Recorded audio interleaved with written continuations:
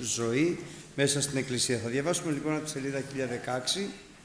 Είναι από την επιστολή προς Κορινθίους την πρώτη του Αποστόλου Παύλου, ΙΒ, 12 κεφάλαιο, 12 κεφάλαιο και 27 εδάφιο. Επιστολή πρώτη του Αποστόλου Παύλου προς Κορινθίους, 12 κεφάλαιο, ΙΒ κεφάλαιο και 27 εδάφιο. Και εσείς είστε σώμα Χριστού και μέλη κατά μέρος. Και άλλους μεν έθεσεν ο Θεός εν τη Εκκλησία πρώτων Αποστόλους, δεύτερον προφήτας, τρίτον διδασκάλους, έπειτα θαύματα, έπειτα χαρίσματα ιαμάτων, βοηθείας, κυβερνήσεις ή γλωσσών. Μη πάντες είναι Απόστολοι, μη πάντες προφήτε, μη πάντες διδάσκαλοι, μη πάντες ενεργούς ή θαύματα, μη πάντες έχουσι χαρίσματα ιαμάτων, μη πάντες λαλούσι γλώσσας, μη πάντες διερμηνεύουσι. Ζητείτε δε με τα ζήλου τα μίζωνα χαρίσματα και τι πολλήν υπερέχουσαν οδόν σας δεικνύω. Εάν αλώτας γλώσσας των ανθρώπων και των αγγέλων αγάπη δεν μη έχω, έγινα γαλκός ηχών ή κύμβαλων αλλαλάζων. Και αν έχω προφητεία και εξεύρω πάντα τα μυστήρια και πάσαν τη γνώση και αν έχω πάσαν την πίστη ώστε να μετατοπίζω όρη, αγάπη δεν μη έχω είμαι ουδέν. Και αν πάντα τα υπάρχοντά μου διαμνήμω και αν παραδώσω το σώμα μου διανακαυθώ, Αγάπη δεν μη έχω, δεν ωφελούμε.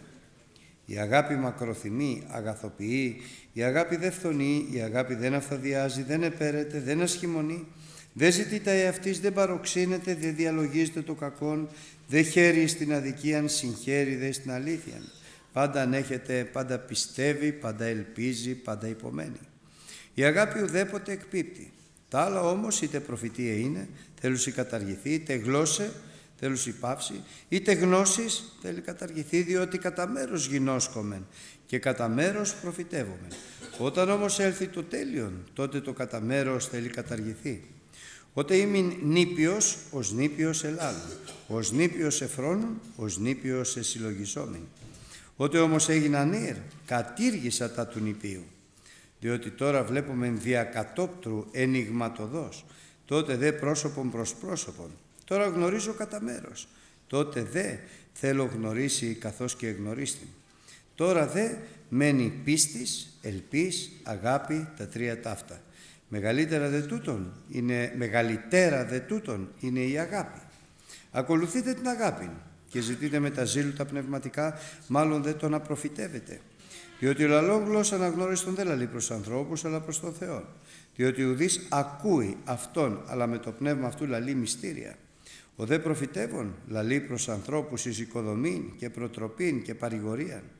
Ο λαλό γλώσσα αναγνώρισε τον εαυτόν οικοδομή. Ο δε προφητεύων την εκκλησίαν οικοδομή. Θέλω δε πάντες να λαλείτε γλώσσας, μάλλον δεν να προφητεύετε, διότι ο προφητεύων είναι μεγαλύτερος παρά ο λαλό γλώσσας, εκτός εάν, εάν διερμηνεύει για να λάβει οικοδομήν η Εκκλησία.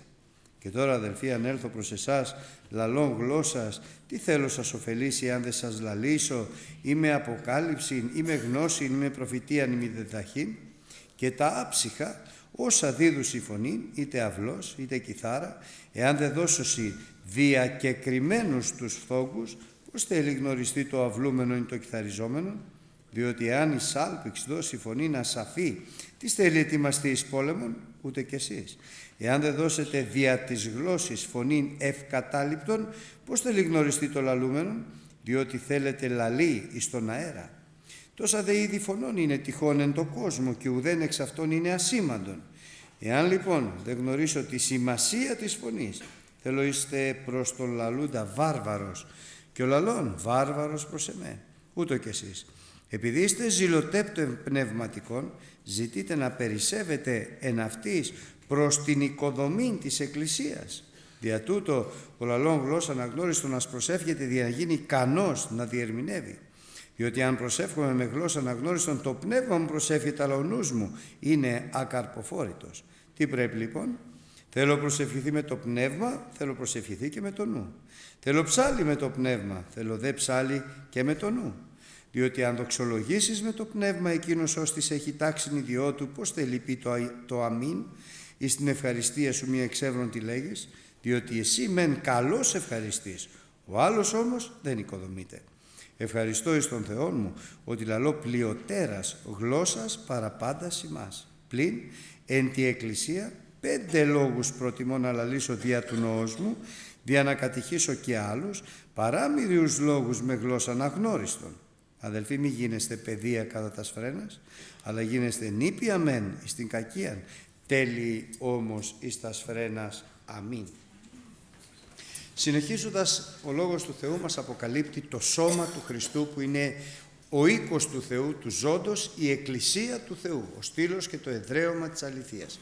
Είναι ένα σώμα, όπως είπαμε και την περασμένη φορά, ένα σώμα συγκεκριμένο, το οποίο έχει κεφαλή, η οποία δίδει και τις εντολές, και μέλη πολλά. Και κάθε ένα μέλος έχει το δικό του έργο και κανένα μέλος δεν είναι άχρηστο αλλά όλα τα μέλη του σώματος είναι φτιαγμένα με σοφία, εν σοφία λεφωνάζει ο Λόγος του Θεού με επίησας, με εμόρφωσας εν την κοιλία της μητρός μου. Με σοφία είναι φτιαγμένη η Εκκλησία του Χριστού.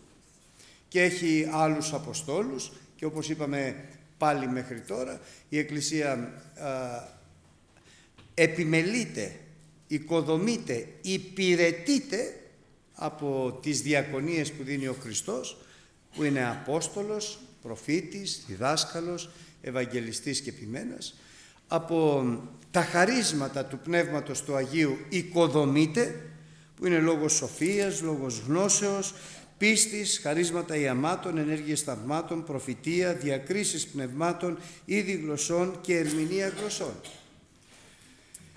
Μέσα όμως στην Εκκλησία ο κάθε ένας Πιστός ο κάθε ένας αδελφός, όπως είπαμε, ως μέλος του σώματος του Χριστού, έχει το δικό του έργο. Αλλά πριν φτάσουμε στο έργο, που το έργο έχει σημασία την οικοδομή, στόχο, την οικοδομή της Εκκλησίας. Είτε σαν διακονία, είτε σαν φυσικά χαρίσματα, γιατί εκτός από τα πνευματικά, δηλαδή τα χαρίσματα που δίδει το Πνεύμα το Άγιο στους ανθρώπους, υπάρχουν και τα φυσικά χαρίσματα ε, και για να τα δούμε ποια είναι αυτά να μην προχωρήσουμε λιγάκι αν πάμε στην, στο 12ο κεφάλαιο Β κεφάλαιο της προς επιστολή στο, στη 1003 σελίδα.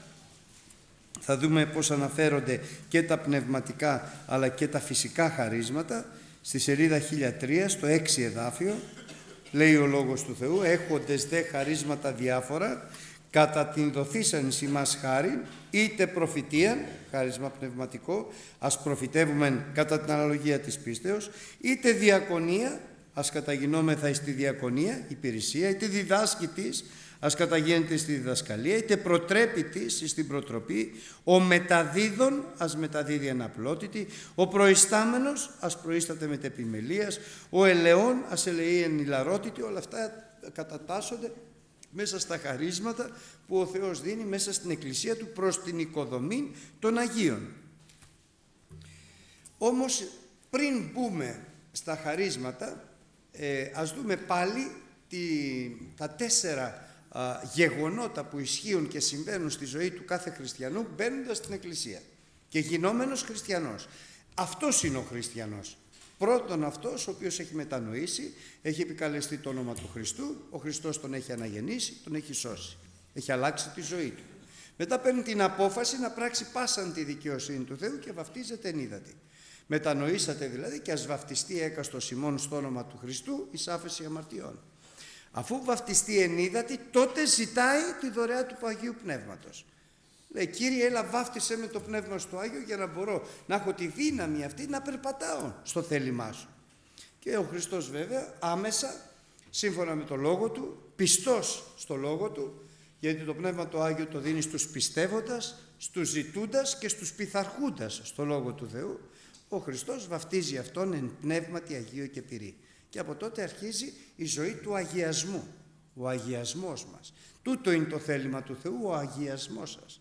Ζητείτε την ειρήνη με τα πάντων των ανθρώπων και τον αγιασμό. Όταν λοιπόν αδερφοί αγαπητοί μέσα στην Εκκλησία μιλάμε για οικοδομή, γιατί τα πάντα λέει η Γραφή, ζητείτε να περισσεύετε προς την οικοδομή της Εκκλησίας. Τα πάντα ο Θεός μέσα στην Εκκλησία θέλει από εμά να, να γίνονται προς οικοδομή. Τι είναι οικοδομή; Προς οικοδομή σημαίνει αυτά τα τέσσερα χαρακτηριστικά για όλους τους αδελφούς και ιδιαίτερα τον αγιασμό.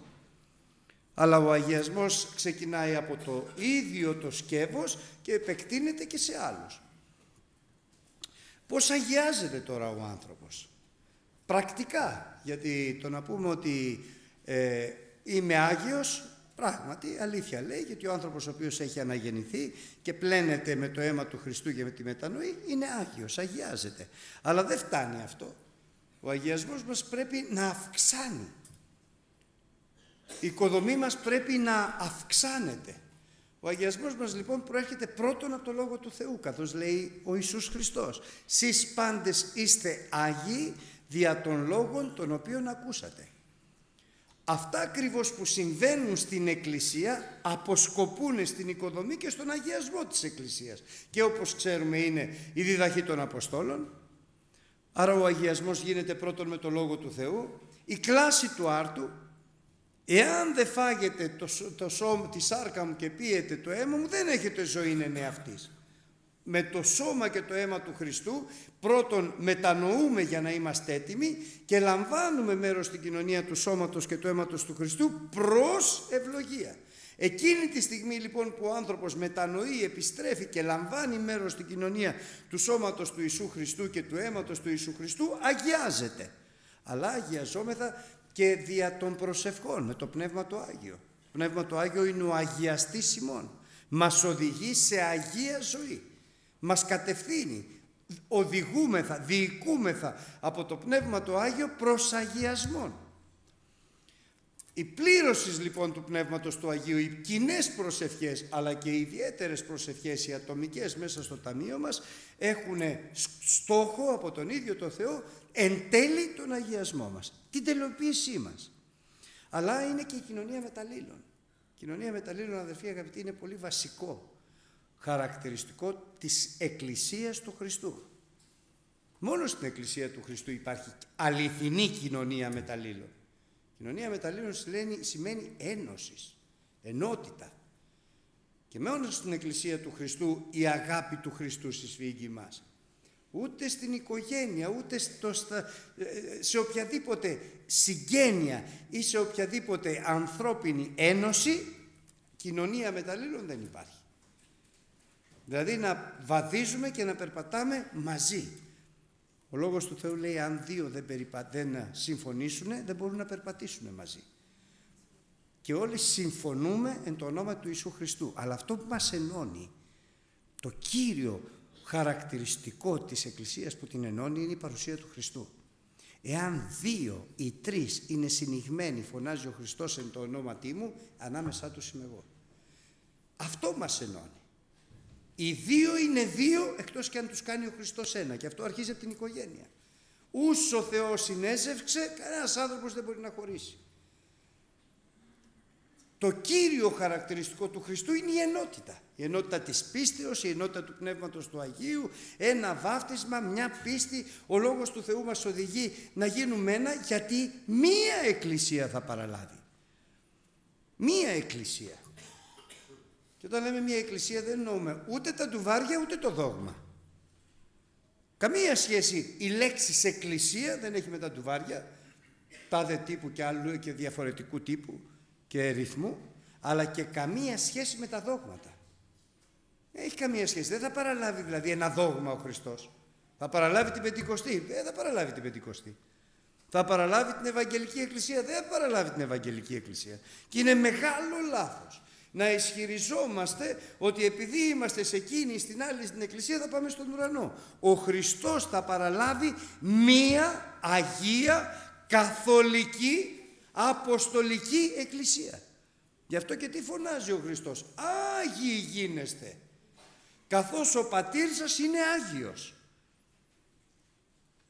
Και ο αγιασμός μέσα στην κοινωνία μεταλλήλων βεβαίως γίνεται από τον Χριστό Βεβαίως γίνεται με τη δύναμη του Πνεύματος του Αγίου. Βεβαίως γίνεται από το Λόγο του Θεού, αλλά συμμετέχει ενεργά και ο άνθρωπος δια της αγάπης. Και είναι και γραμμένο. Εξέλεξεν ημάς προκαταβολής κόσμου δια να είμαστε Άγιοι δια της αγάπης. Και δεν μπορείς να είσαι ένα αν δεν τον αγαπάς σε καρδίας. Γι' αυτό η εντολή του Χριστού ποια είναι; Και να προσέξουμε αδερφοί αγαπητοί, όχι την εντολή μόνο του Χριστού, αλλά την πρώτη εντολή που ο Θεός έδωσε στους ανθρώπους. Αγαπήσεις Κύριον των Θεών σου είναι το πρώτο. Εξ όλης της καρδίας σου, ψυχή σου, διανία σου και δυνάμεώς σου. Αυτή είναι η πρώτη εντολή και η εντολή του Χριστού αδερφοί δεν είναι για να σε δείρει, ούτε για να σε πιέσει, να σε κατεξουσιάσει. Είναι για να σε βοηθήσει. Γιατί ο Θεός εκείνο που θέλει να πάμε στον ουρανό, μην χάσουμε τη βασιλεία των ουρανών. Και για να μην χάσουμε τη βασιλεία των ουρανών, το πρώτο πράγμα που πρέπει να ζητάμε και να υπάρχει μέσα στην καρδιά μας, είναι να αγαπάμε αυτόν που πάμε να συναντήσουμε. Πώς θα παντρευτεί μια νέα ένα νέο αν δεν τον αγαπάει. Πώς θα τον ε, επιθυμεί και αντίθετα ο νέος νέα αν δεν την αγαπάει. Πώς θα επιθυμήσουμε τη Βασιλεία του Θεού γιατί και εμείς ένα γάμο περιμένουμε. Πώς θα επιθυμήσουμε τη Βασιλεία του Θεού, το γάμο του Χριστού, εάν δεν αγαπάμε τον υμφίο μας; Με όλη μας την καρδιά. Ξέρετε θα, τι σημαίνει με όλη μας την καρδιά; Δεν υπάρχει άλλο πρόσωπο. Είναι το μοναδικό, το ένα. Όλη η καρδιά δοσμένη στο Χριστό. Όλη η καρδιά δοσμένη πιο σωστά στον Πατέρα, τον Υιό και το Πνεύμα του Άγιο. Όλη μας η καρδιά. Όλη μας η διάνοια, όλη μας η σκέψη. Όλη μας η δύναμη. Όλη, όλη, η ζωή μας. Και όλη η ψυχή μας. Και ο εξωτερικός και ο εσωτερικός άνθρωπος. Αυτή είναι η πρώτη εντολή αλλά υπάρχει και δευτέρα ομοία από της πρώτης. Αγαπήσεις τον πλησίον σου σαν τον εαυτό σου. Δεν είναι εύκολα πράγματα αυτά. Ούτε σου δίνω μια εντολή και εσύ υποχρεωμένος να την κάνεις. Όσο και εντολή να μου δώσεις να αγαπήσω τον πλησίον μου που δεν τον χωνεύω, εγώ δεν μπορώ να τον αγαπήσω. Και ο Χριστός έτσι εργάζεται. Σου δίνει την εντολή και μετά κάνει και χάρη στη ζωή σου, σου δίνει τη δύναμη και την ευκολία να την εκπληρώσεις. Αυτή είναι η χάρη του Χριστού. Ε, θα αγαπήσεις τον πλησίον σου, αλλά εγώ θα σου δώσω αγάπη. Μα δεν με χωνεύει, εγώ θα σου δώσω αγάπη. Πήγαινε, έλα και ζήτησέ μου. Και όταν λέει αιτείτε και θέλετε λαμβάνει για να είναι πλήρης η χαρά σας, τι αιτούμεθα. Και όχι μια φορά, καθημερινά. Αιτούμεθα να αγαπάμε τους εχθρούς μας. Να αγαπάμε αυτούς που μας μισούνε. Αυτούς που μας βλάπτουν, αυτούς που δεν μας χωνεύουν.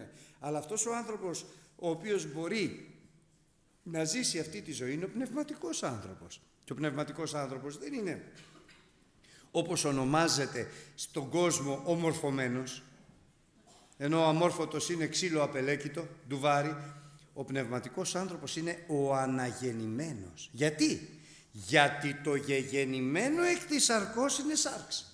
Το γεγεννημένο εκ του πνεύματος είναι πνεύμα. Αυτός είναι ο πνευματικός άνθρωπος. Μόνο λοιπόν ο πνευματικός άνθρωπος εννοεί τα του πνεύματος τα εξητάει και τα απολαμβάνει. Και εδώ θέλω να μείνω αδερφοί αγαπητοί σε κάτι που είναι θεωρώ πάρα πολύ σοβαρό.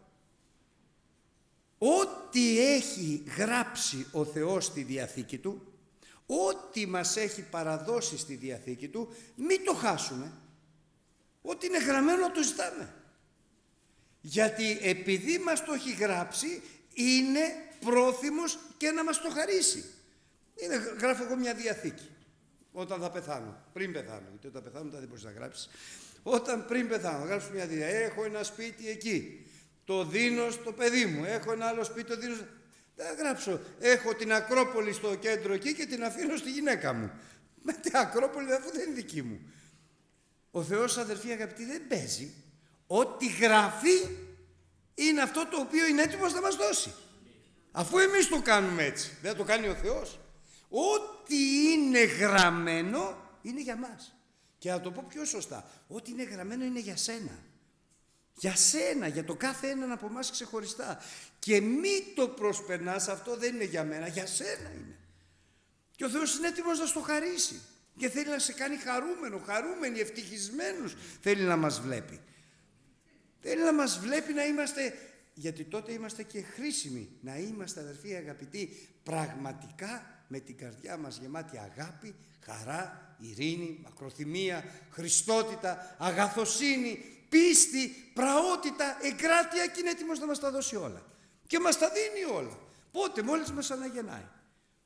Ο άνθρωπος λοιπόν ο πνευματικός, εκείνο που απολαμβάνει αλλά και εργάζεται είναι η αγάπη. Να αγαπήσεις λοιπόν πρώτα το Θεό, μετά τον πλησίον σου και τέλος η καινούργια εντολή. Πόσο αγαπάω αυτή την καινούργια εντολή. Εντολή καινή σας δίδω, λέει ο Χριστός. Μόνο ο Χριστός μπορούσε να μας δώσει αυτή την εντολή. Και θα το δείτε γιατί. Αγαπάτε αλλήλους καθώς εγώ σας αγάπησα. Αυτή είναι η καινούργια εντολή. Όπως εγώ σας αγάπησα, έτσι να αγαπάτε ο ένας τον άλλον. Και κοιτάξτε πώς μας αγάπησε ο Χριστός. Πρώτα πρώτα είναι φίλος μας. Έρχεται και λέει εγώ είμαι φίλος. Όποτε με χρειάζεσαι, θέλω να το προσέξουμε αυτό. Όποτε με χρειάζεσαι, είμαι έτοιμος να σου απαντήσω. Είμαι έτοιμος να ακούσω τον πόνο σου, τη χαρά σου, τη θλίψη σου. Όλα είμαι έτοιμος να τα ακούσω. Και να τα ακούσω και με προσοχή. Και όταν είσαι στενοχωρημένος να στενοχωριέμαι. Και όταν είσαι χαρούμενος να χαίρομαι. Ο φίλος έχει ένα ωραίο χαρακτηριστικό, αγαπάει. Και αγαπάει χωρίς να περιμένει, να πάρει. Αλλά αγαπάει περιμένοντας να δώσει. Μια τέτοια αγάπη μόνο ο Χριστός μπορούσε να δώσει σαν παράδειγμα σε μας. Που μάλιστα είναι αυτός που έδωσε και την ψυχή του υπερημών. Εγώ έδωσα την ψυχή μου για σένα. Και σ' αγαπούσα όταν με έβριζες και με βλαστημούσες, εγώ σ' αγαπούσα. Και όταν ήσουν εχθρός μου, εγώ σ' αγαπούσα. Και τώρα που έγινες φίλος μου, το ίδιο πολύ σ' αγαπάω. Τώρα που έγινες φίλος μου δεν σ' αγαπάω πιο πολύ, γιατί πάντοτε σ' αγαπούσα πάρα πολύ. Η αγάπη του Θεού είναι άπειρη. Δεν υπάρχει, το, σήμερα σε αγαπάω πολύ, αύριο λιγότερο, αύριο πιο πολύ, αύριο λίγο λιγότερο, αύριο... Δεν έχει τέτοια η αγάπη του Χριστού. Είναι τέλεια. Πλήρης. Απέραντη. Άπειρη. Και αγαπάει όλους τους ανθρώπους. Και όλοι οι άνθρωποι θέλουν, θέλει ο Χριστός να σωθούν. Αυτό είναι το, το δεύτερο χαρακτηριστικό. Το πρώτο χαρακτηριστικό είναι το κοντά. Είναι πλησίον σου ο Χριστός. Φίλος σου. Το δεύτερο είναι ότι αγαπάει. Το τρίτο αδερφοί αγαπητοί που είναι πάρα πολύ ωραίο του Κυρίου μας του Ιησού Χριστού είναι ότι θα σε βοηθάει. Ο φίλος βοηθάει. Και όταν λέμε βοηθάει εννοούμε ότι και μπορεί και θέλει. Γιατί μπορεί να θέλει κάποιος να σε βοηθήσει και δεν μπορεί. Θέλω να σε βοηθήσω αλλά δεν μπορώ. Λυπάμαι που δεν μπορώ. Θέλω να σε βοηθήσω αλλά δεν μπορώ. Δηλαδή ξέρετε τι είναι ο Χριστός. Βοήθεια ετοιμοτάτη. Έτοιμος να σε βοηθήσει. Εγώ είμαι ο Κύριος, εγώ είμαι ο Θεός, εγώ είμαι ο βοηθός σου. Είδατε αδερφοί αγαπητοί τι σημαντικό είναι. Αυτός που μας αγαπάει μας είναι έτοιμος να μας βοηθήσει. Και τι λέει, αγαπάτε αλλήλους καθώς εγώ σας αγάπησα. Και εσείς να αγαπάτε αλλήλους και να είστε έτοιμοι να βοηθήσετε. Τι να βοηθήσετε σε όλα. Όπου μπορείτε. Και την ψυχή σας ακόμη να βάλετε. Τι σόι βοηθός είναι αυτός. Δούλος. Αυτή είναι η διαφορά του Ιησού Χριστού. Είναι ότι είναι δούλος του ανθρώπου. Δηλαδή δεν ήρθε να υπηρετηθεί, δεν έρχεται ανάμεσά μας για να τον υπηρετήσουμε. Ανάμεσά μας έρχεται για να μας υπηρετήσει. Κύριε μου. Εσύ τώρα πώς αγαπάς τον αδελφό σου. Για να σε υπηρετεί ή για να τον υπηρετήσει. Το πω τώρα λίγο καλύτερα. Πώς αγαπάς τη γυναίκα σου. Για να σε υπηρετεί ή για να την υπηρετήσει. Πώς αγαπάς τα παιδιά σου. Και προχωράμε. Πώς αγαπάς τον αδελφό σου, πώς αγαπάς την αδελφή σου, πώς αγαπάς την εκκλησία και ξέρεις τι θα γίνει τελικά. Θα είσαι δούλος. Δηλαδή δούλος όλων. Δούλος της γυναίκας σου, του άντρα σου, των παιδιών σου, των αδελφών σου, της εκκλησίας, θα γίνεις σαν τον Χριστό. Αλληλούια. Δεν ήρθε λοιπόν να υπηρετηθεί. Έτσι να αγαπάτε κι εσείς αλλήλους. Όχι για να σας υπηρετούν. Πολύ σας αγαπάω γιατί όλο μου βοηθάς. Όχι δεν είναι έτσι. Πολύ σε αγαπάω και θέλω να σε βοηθάω. Ξέρετε, τελευταία θυμήθηκα μία αδελφή μας που την αγαπούσα πάρα πολύ, ηλικιωμένη, την Ευστρατεία. Θυμάμαι λοιπόν αυτή τη γυναίκα, ποτέ δεν την είχα πάρει τηλέφωνο. Και όμως είχα μιλήσει στο τηλέφωνο τις περισσότερες φορές μαζί της. Γιατί κάθε τόσο με έπαιρνε αυτή τηλέφωνο. Και ξέρετε τι με έπαιρνε, να μου ευχηθεί. Αδελφέ μου Γιώργος, σ' αγαπάω πολύ, ο Κύριος να σε ευλογήσει. Ε, παιδί μου, έλεγα. Μα να μην την είχα πάρει μια φορά την έχω. Όταν ήταν άρρωστη, μια φορά που ήταν άρρωστη την είχα πάρει. Λέω, κύριε, κάνε με έτσι, σε παρακαλώ. Δεν, να, να μην θέλει να την πάρω τηλέφωνο. Το ξέρω, έχεις δουλειές αδερφέ Γιώργο, το ξέρω. Να, να σε ευλογήσει την οικογένειά σου, να ευλογήσει τα παιδιά σου. Όποτε με θυμόταν έπαιρνε το τηλέφωνο. Και να πείτε ότι δεν είχε δουλειές. Όλο το, να μην πούμε τίποτα τώρα για την οικογένειά της. Πολλές δουλειές. Και κάθε πρωί που ερχόταν την Κυριακή, ντυμένη, πλημμένη, χτενισμένη, με αρώματα, με μυρουδιές ωραίες, ερχόταν από εκεί, εγώ ήμουν γονατιστός εκεί, γονατίζω, ερχόταν τάκ, τάκ, κούτσενε με, γιατί είχε πέσει και χτυπήσει για τη μέση της η καημενούλα, κουτσένοντας πλησίαζε κοντά, να σε φιλήσω Γιώργο, αδερφέ Γιώργο, να σε φιλήσω. Μόλις την έβλεπα εγώ σηκωνόμουν, λέω θα με φιλήσει τώρα. και λέω τι ωραία που είναι αδελφή. δεν είχε καμία απέτηση. Ποτέ δεν μου παραπονέθηκε. Μα ποτέ ούτε ένα παράπονο. Πέρναγα από μπροστά της, δεν την έβλεπα γιατί πολλές φορές κοιτάω κάποιον και συνήθως εγώ κοιτάω αυτούς που θέλω να τους πλησιάσω γιατί έχουν, συγχώρεσε με κυρία μου, κάποια ανάγκη. Κάτι αισθάνομαι ότι πρέπει να, να κάνω. Αυτόν που δεν έχει ανάγκη δεν τον βλέπω. Το, αυτός, δεν, δεν, τον βλέπω στα μάτια, δεν τον βλέπω, ξέρω εγώ τι παθαίνω. Και πέρναγα λοιπόν, όπ, με, με άρπαζε από την πλάτη. Ε, δεν με χαιρέτησε, αλλά χαμογελαστή. Μ' άρπαζε από την πλάτη, αδερφέ, τι κάνεις; Ε, ε, ναι, χτες προχτές τι θυμόμαστε. Θυμόμαστε, ας πούμε, πόσο αυτό το πρόσωπο μου είχε κάνει εντύπωση σαν το πρότυπο του χριστιανού, της χριστιανής. Για μένα ήταν το πρότυπο της χριστιανής. Και μια Κυριακή ντύθηκε, πλήθηκε, στολίστηκε. Ήταν μεγάλη ηλικία έτσι. Πολύ μεγάλη και ταλαιπωρημένη γυναίκα. Πρόσφυγας από την α, Μικρά Ασία. Και ήρθε, σηκώθηκε να κοινωνήσει και όταν σηκώθηκε ήρθε ο Κύριος και λέω στην Άννα δεν πέθανε η ευστρατεία. Τη μετέθεσε ο Κύριος σαν τον Ενόχ. Ήρθε τάκ, την πήρε και φύγανε. Λέει η ευστρατεία με αρκετά εδώ, πάμε μαζί τώρα στον ουρανό. Και το εννοώ εγώ, το πιστεύω.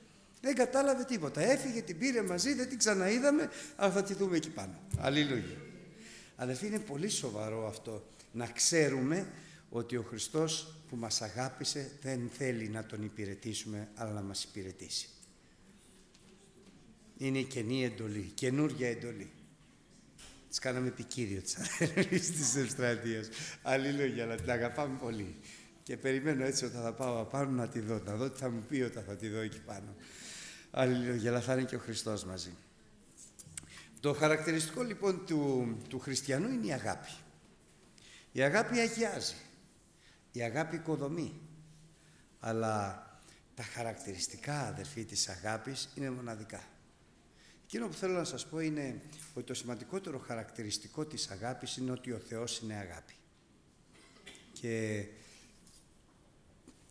όσες φορές το σκεφτόμαστε, αυτό το χαρακτηρισμό που λέει η Γραφή δεν λέει ότι ο Θεός έχει αγάπη. Λέει ο Θεός είναι αγάπη. Πώς να το εννοεί; Πολλές φορές έτσι με έχει απασχολήσει αυτό. Πώς να το εννοεί; Και θυμάμαι μια φορά που λέω «Κύριε, ξέρω, προσευχόμουν». Κάνω μερικές φορές, όχι δύσκολες, έτσι, ό,τι μου έρχεται στην κεφάλα μου, ερωτήσεις το Θεό. Λέω, Κύριε, ξέρω ότι με αγαπάς, αλλά πώς με αγαπάς; Πώς με αγαπάς, πόσο με αγαπάς; Πριν σας πω αυτό, θέλω να σας πω κάτι άλλο. Προσευχήθηκα και είπα μια φορά, για, γιατί είναι σημαντικό να, φτάσουμε στο πώς μας αγαπάει ο Θεός. Διάβαζα τη Γραφή και διάβασα εκεί που λέει ο Απόστολος Παύλος «Εξεύρω εις να επίστεψα». Και μ' άρεσε.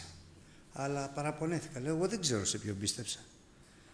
Παύλος ήξερε, κύριε, εγώ δεν ξέρω πώς να είσαι; Τι είσαι; Έτσι μεγαλοπρεπής, παντοδύναμος. Δεν ξέρω πώς να είσαι, πώς θα ήθελα να πω Κύριε εξεύρω τι να επίστεψα. Και εκείνη τη στιγμή με φέρνει σε έκσταση ο Θεός. Και βρίσκομαι μπροστά σε ένα βράχο γκρι μπλε. Και καθώς βρισκόμουν με τα χέρια ψηλά, έτσι έβλεπα από μακριά τον εαυτό μου, να κάθομαι μπροστά σε ένα βράχο με τα χέρια ψηλά. Και κοίταγα το βράχο, πήγαινε, πήγαινε, πήγαινε, πήγαινε, δεν είχε τέλος. Κοιτάω δεξιά ένας βράχος που δεν είχε τέλος. Αριστερά ένας βράχος που δεν είχε τέλος. Κοιτάω κάτω ένας βράχος που δεν είχε τέλος. Έφτανε στο διάστημα σας λέω. Θα σας λέω δεν είχε τέλος, δεν είχε τέλος. Πέρναγε όλους τους ουρανούς. Όχι δεν ήταν 2.000 μέτρα σαν τον Όλυμπο. Ένας βράχος πήγαινε, πήγαινε, πήγαινε, πήγαινε και λέω τώρα φτάνει μέχρι τον τρίτο ουρανό. Δεν ξέρω πού είναι ο τρίτος ουρανός, αλλά μέχρι εκεί φτάνει. Δεξιά και κατάλαβα ότι αυτός είναι ο Χριστός που αγαπάω. Ο βράχος ο αιώνιος. Και μόλις ήρθα έτσι στα συγκαλά μου, είπα τώρα κύριε, εξεύρω τι να επίστεψα. Εξεύρω τι να επίστεψα. Είσαι ο άπειρος. Δεν έχεις ούτε αρχή ούτε τέλος, άναρχος, αγενεολόγητος, όπως τα λες μέσα, αλλά τώρα το ξέρει η ψυχή μου. Ότι δεν έχεις ούτε αρχή ούτε τέλος, δεν μπορώ να σε μετρήσω ούτε στο βάθος, ούτε στο μήκος, ούτε στο πλάτος, ούτε στο ύψος. Δεν μετριέσαι. Ε, είσαι ο μοναδικός, είσαι ο τέλειος. Ξεύρο την επίστευσα. Αργότερα λοιπόν ξανακάνω την ίδια ερώτηση. Κύριε λέω, ξέρω ότι με αγαπάς. Πόσο με αγαπάς; Πώς μπορεί να το μετρήσει αυτό κανείς; Πώς με αγαπάς; Και έρχεται ο Θεός και με οδηγεί εδώ. Έλα να σου πω πώς αγαπάω. Η αγάπη μακροθυμεί. Πάντα μακροθυμώ για σένα. Πάντα κύριε, πάντα, πάντα. Μα ό,τι και να κάνω, ό,τι και να κάνεις. Πω, πω, λέω, πολύ με αγαπάς κύριε. Συνέχισε, συνέχισε. Η αγάπη αγαθοποιεί. Πάντα αγαθ, θα σε αγαθοποιώ. Πάντα κύριε, πάντα. Αν είμαι καλός και αν είσαι καλός. Και αν είμαι κακός και αν είσαι κακός. Και αν σε λυπήσω και αν με λυπήσεις εγώ πάντα θα σε αγαθοποιώ. Πω, πω, λέω, πολύ με αγαπάς κύριε. Με μας αγαπάει πολύ αδελφοί. Πολύ μας αγαπάει. Η αγάπη δεν φθονεί. Άρα δεν λυπάσαι όταν μεγαλώνω. Θέλω να γίνεις όμοιος με μένα. Εγώ θα σε κάνω να είσαι όμοιος με μένα. Θέλω να σε βλέπω να μεγαλώνεις. Τι ωραία, πολύ με αγαπάς Κύριε. Η αγάπη δεν αυθαδιάζει, δεν επέρεται, δεν ασχημονεί, δεν ζητεί τα εαυτής, δεν παρεξήνεται, δεν διαλογίζεται το κακό, δεν χαίρει στην αδικία, συγχαίρει στην αλήθεια. Πάντα και εδώ φτάνουμε στο κρίσιμο σημείο. Τώρα εδώ είναι συγκλονιστικό έτσι, έτσι πως μου το έχει δώσει ο Θεός να το καταλάβω. Πάντα σε ανέχομαι. Οπό, πάντα Κύριε με ανέχεσαι, πάντα σε ανέχομαι. Πάντα, πάντα. Μα Κύριε είμαι άνθρωπος, είμαι αδύνατος, πέφτω, κάνω λάθη, λέω και ψεματάκια καμιά φορά, κάνω και αμαρτία, πάντα σε ανέχομαι. Πω, λέω Χριστέ μου. Πάντα σε πιστεύω, ό,τι και να μου λες. Σε εμπιστεύομαι. Εμένα, σένα. Με εμπιστεύεσαι. Σε εμπιστεύομαι. Και σκεφτόμουν εγώ και λέω ότι η γυναίκα μου πάντα την εμπιστεύομαι. Μπάλα, δεν την εμπιστεύομαι πάντα. Αλλά εσύ κύριε με πιστεύεσαι εμένα πάντα; Ε, παιδί μου, πάντα με πιστεύετε. Αδελφοί, πολύ μας αγαπάει ο Χριστός. Πάντα ε, μας εμπιστεύεται. Πάντα μας πιστεύει, ό,τι και να το πούμε πάντα ελπίζει για το καλό μας. Θα γυρίσει ο Γιώργος. Εγώ ξέρετε τι έχω πει. Βλέπω έναν άνθρωπο και ε, μαζί με την Άννα τα λέμε. Είμαστε τσακάλια. Πηγαίναμε μια φορά στο, στο, στη Λιβαδιά και είναι μια αδερφούλα εκεί πέρα την οποία ο άντρας της ταλαιπωρούσε πάρα πολύ. Τι έδερνε, τι βάραγε, τι χτύπαγε τι, ε, και τι δεν έκανε. Είχα μαγριέψει, έκοβε η Άννα, έραβα εγώ. Λοιπόν, και λέει η Άννα, δε, αυτός δεν πιστεύει ποτέ.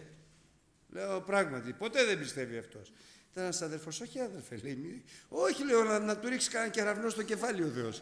Δεν πιστεύει, δεν ξέρεις πώς την ταλαιπωρεί τη γυναίκα. Πετάει το αδερφός, καλός αδερφός αυτός. Λέει, όχι αδερφέ, να προσευχηθούμε να τον σώσει. Βρε, δεν σώζεται αυτός.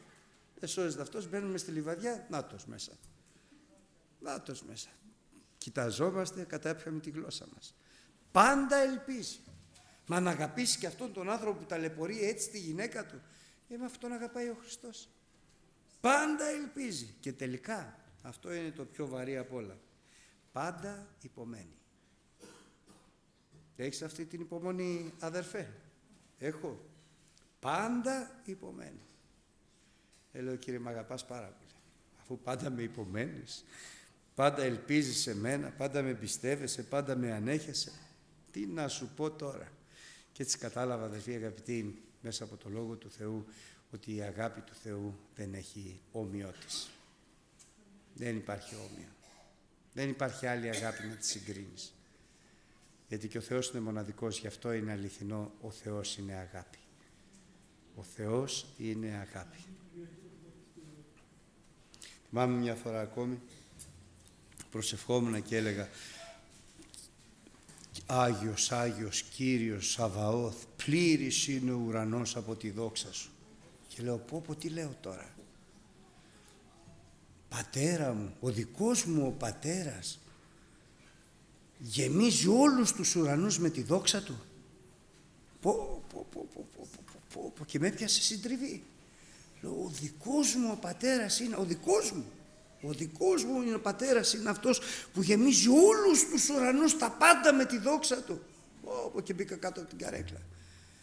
Και εκείνη τη στιγμή θυμάμαι κάτι μεγαλύτερο.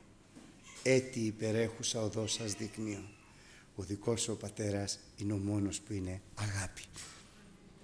Αυτός ο παντοδύναμος είναι αγάπη.